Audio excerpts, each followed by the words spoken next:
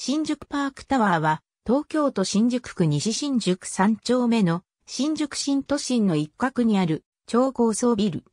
当ビル敷地は長年にわたり東京ガスの営業、供給、地域冷暖房の拠点として使用されてきた。しかし、東京都庁舎の新宿への移転に伴い、地域冷暖房の能力増強が必要になり、また敷地にあったガスホルダーの撤去が可能となったため、それに合わせて敷地全体の再開発が計画され、まず、新宿地霊、センタービルが整備され、ついで、1994年7月9日、当ビルが全館をオープンした。工事費は約1500億円。新宿では、都庁第一庁舎に次いで、高いビルで N 棟、S 棟、C 棟の複合する3棟からなる。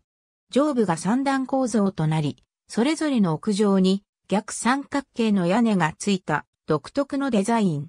また、外壁の凹凸でビル街の風を緩和する効果を狙った。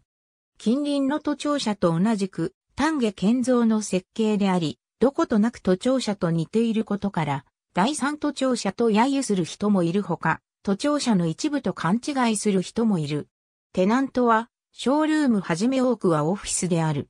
最上部に東京ガス都市開発の完全子会社であるパークターホテルが運営するパークハイアット東京が入る。低層部には住宅、内装関係のショールーム等が集まるリビングデザインセンターオゾン。1階にホテルのデリカテッセン。地下1階には約30店舗のレストランショップ街があり、新宿高層ビル群の中では、木が浅いがビジネスマン以外にも来訪者が多い。また、1階の広いアトリウムを利用して様々なイベントも行われている。新宿パークタワーのシャトルバスが使用されている。現在は廃車済み近隣に位置するホテル小田急運営のハイアットリージェンシー東京とは別。ありがとうございます。